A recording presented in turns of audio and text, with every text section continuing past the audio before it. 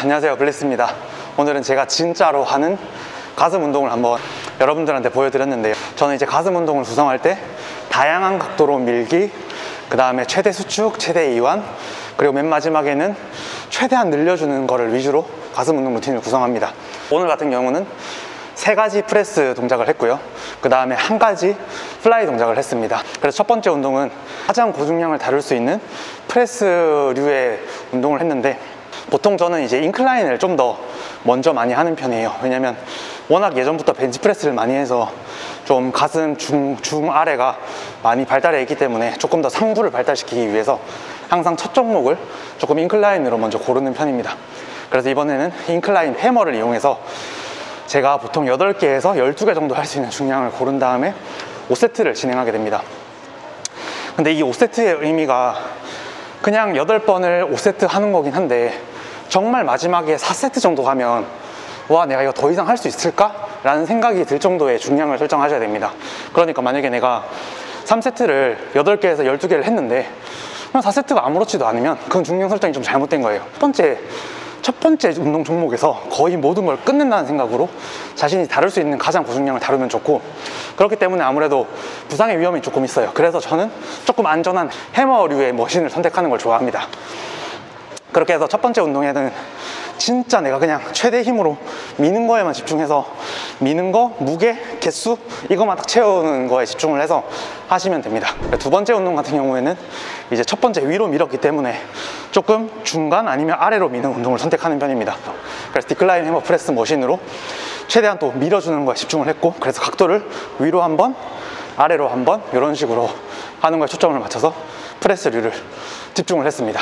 decline hammer 같은 경우는 생각보다 어깨가 굉장히 안정적인 포지션에 위치하기 때문에 그냥 그 decline hammer가 그린 그대로 그리면 되는데 딱 주의해야 될 점은 가슴 운동을 하는 모든 공통적인 상황인데 가슴이 항상 열려 있어야 돼요. 가슴이 죽지 않고 가슴을 항상 연 상태에서 이렇게 미는 연습을 하셔야 되고 뭔가 내 첫 번째 횟수의 자세가 마지막 횟수의 자세랑 달라진다.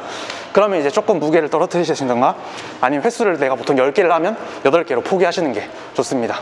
세 번째 운동 같은 경우는 chest press를 하는데 한쪽을 최대 이완, 최대 수축에 조금 집중을 해서 chest press를 했습니다. 우리의 가동성이 1에서 10이라면 1에서 10 사이에서만 힘이 있고 11에서 15 사이에는 힘이 거의 없다고 보면 돼요.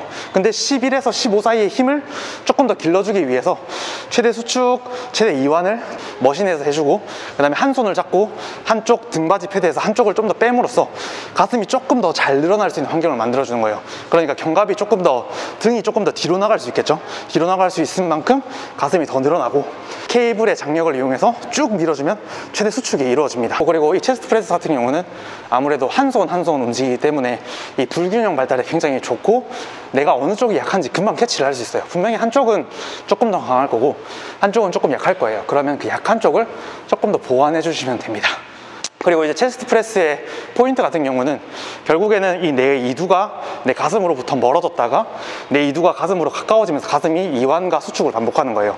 그래서 내 이두가 수축을 했을 때 최대한 가슴과 가까이 이렇게 안으로 모여 있느냐를 꼭 보셔야 되고 만약에 너무 벌어져 있다거나 하면 그립의 너비를 조정해서 최대한 안으로 이렇게 모을 수 있도록 하셔야 됩니다 네 그리고 이제 마지막으로는 덤벨 fly를 했어요. 저 같은 경우는 덤벨 fly를 케이블 fly보다 좀 더 좋아하는 편입니다. 덤벨이 조금 더 가동 범위를 길게 가져가면서 좀 더 억지로 늘려줄 수 있어요. 그래서 여기까지 저희가 약간 수축 수축 수축에 집중했다면 맨 마지막 운동으로는 이완 이완 이완에만 집중을 해서 그동안 뭉쳤던 가슴을 최대한 늘려주는 거에 포커스를 맞춰서 진행을 합니다. 그래서 일부러 그 이완 지점, 최대 이완 지점에서 한 5초 정도 머물면서 등척성 수축을 해주는 거죠. 그렇게 되면 근육의 길이가 훨씬 더 길어지고 그리고 내가 쓰지 않던 가동 범위에서도 힘이 점점 생겨나게 됩니다. 결국에는 내가 얼마나 많은 가동 범위 속에서 얼마나 많은 힘을 낼 수 있느냐가 모든 운동의 키포인트이기 때문에 최대한 많은 가동 범위에서 움직일 수 있도록 노력해 주시면 됩니다. 덤벨 fly 같은 경우는 이완에만 신경을 쓰시고 그 다음에 수축을 하실 때는 일부러 팔이 다 안 닿는 지점까지 움직여줍니다 그 이유는 팔이 닿게 되면 약간 수축이 풀리는 경향이 있어요. 저 같은 경우는. 그래서 팔이 안 닿는 범위까지만 움직여주고 수축이 된 상태에서 다시 늘려주고 수축이 된 상태에서 다시 늘려주고 이런 걸 반복하고 절대 긴장감이 풀리지 않는 선에서 움직이도록 하고 그리고 아무래도 내려갔을 때 5초 정도 버텨주기 때문에 횟수에 집중을 할 필요는 없어요. 저 같은 경우는 진짜 한 5회 정도를 목표로 하고 들어갑니다. 최대한 늘린다고만 생각하고 들어가기 때문에 그러면 한 세트 하는데 걸리는 시간이 한 30에서 40초가 돼요. 그럼 보통 적정 시간이라고 보거든요. 그래서 횟수는 중요하지 않고 최대한 가슴을 늘려주는 데만 집중을 해서 어, 덤벨 fly를 진행하시면 아마 가슴이 거의 파괴가 될 겁니다. 저 같은 경우는 종목 수를 많이 가져가기보다는 종목 수를 적게 가져가고 한 세트를 5세트까지 가져가면서 한 운동을 조금 집중도 있게 하는 걸 되게 중요하게 생각해요. 그리고 생각보다 여러분 해보시면 아는데 5세트가 정말 어렵다는 걸 느끼실 거예요. 3세트는 사실 좀 쉬워요. 근데 4세트, 5세트가 진짜 고비의 세트이기 때문에 항상 5세트까지 메인 운동을 가져가시는 걸 좀 연습해 보시면 운동의 전반적인 집중도가 올라갈 거라고 저는 그렇게 생각합니다. 큰 틀은 여러 방향으로 밀고 맨 마지막에는 가슴을 늘려주는 거다. 이렇게 포인트를 가져가시면 되고 또 하나의 포인트는 최대 이완, 최대 수축을 항상 가져가는 걸 연습하셔야 된다라고 생각해 주시면 감사할 것 같습니다. 이렇게 해서 오늘 영상 마무리하도록 하고 또 다음에 제가 진짜로 하는 운동 시리즈를 보고 싶은 부위가 있으시면 댓글로 작성해 주시면 제가 또 다음 편을 후속편을 제작하도록 하겠습니다. 그러면 영상 어, 좋아요, 구독하기, 댓글 한 번씩만 눌러주시면 정말 감사하고요. 다음 영상에서 더 좋은 모습으로 찾아뵙도록 하겠습니다. 감사합니다.